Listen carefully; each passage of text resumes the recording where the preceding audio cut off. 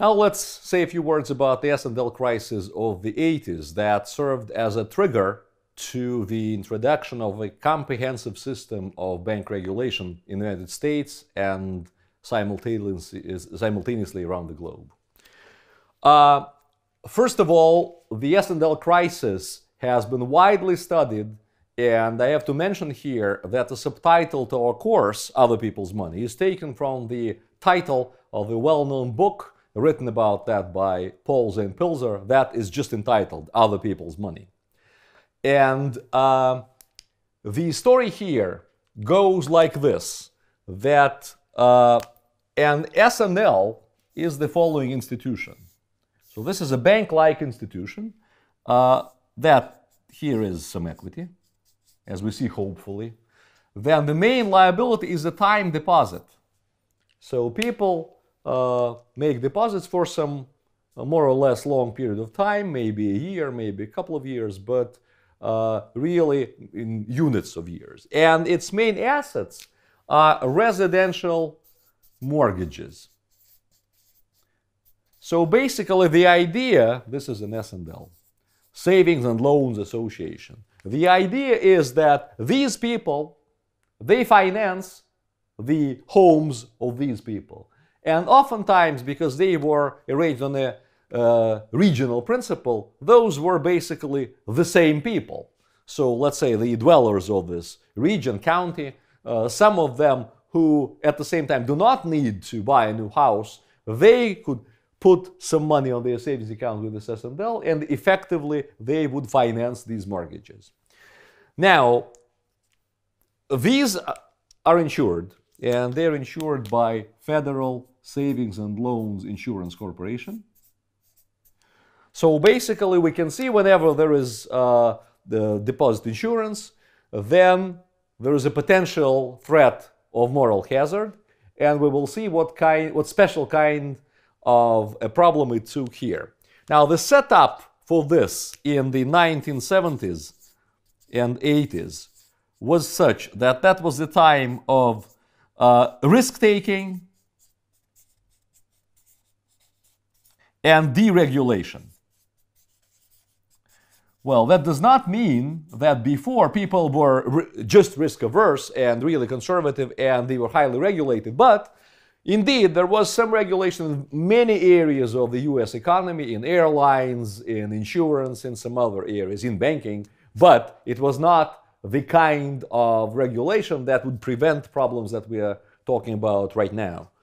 And then also, this whole time was the sort of jump start or jump restart of the US economy, and people started to take more risks. This entrepreneurial spirit was really a core at this time. Uh, that also uh, coincided in time with the jump in the interest rates, and that was the key trigger of the S&L crisis to occur. In order to talk about that, I will just flip over the chart and we'll reproduce that once again, and we'll see what happens. Now, again, this is equity at an S&L. This is the S&L simplified balance sheet. These are time deposits and these are residential mortgages. What if interest rates go up significantly like this? Then we see because the maturity and duration of residential mortgages is quite high, the maturity is 30 years and it can be shown that duration is sort of kind of long, then the market value drops sharply as interest rates go up. So we can put it like this. It's a little bit exaggerated. But the key story is that you can see that the market value of these residential mortgages now is less than the market value of their liabilities because the market value of time deposits does not change that much. So that was the case that a lot of these S&Ls became sort of as was called zombie organizations.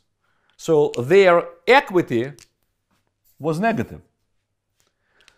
Now you can see that uh, this pushes the management of this S&L to engage in very risky projects because if I arrive at the high state, then I, I might be back in the black. if I arrive at a low state, I was insolvent and I am insolvent. Who cares? So it's important to notice that this setup resulted in massive abuses based on this moral hazard situation.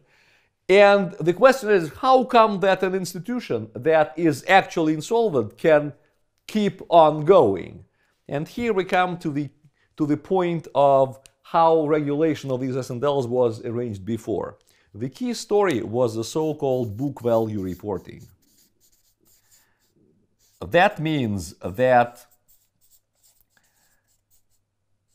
even when that was already a zombie, in reports, the management could show the book value of these mortgages, this whole amount.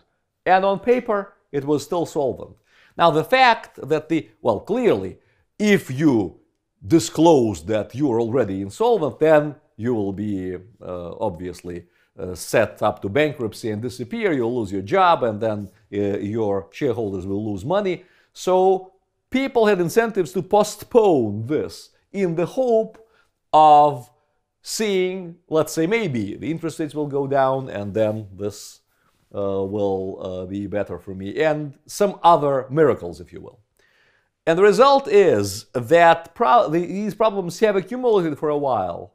And as oftentimes happens, it all, uh, this, it was not exactly a bubble, it was just the set of postponed serious problems. It burst, and the overall check for finally the taxpayers, because deposits were insured, added up to 550 billion US dollars.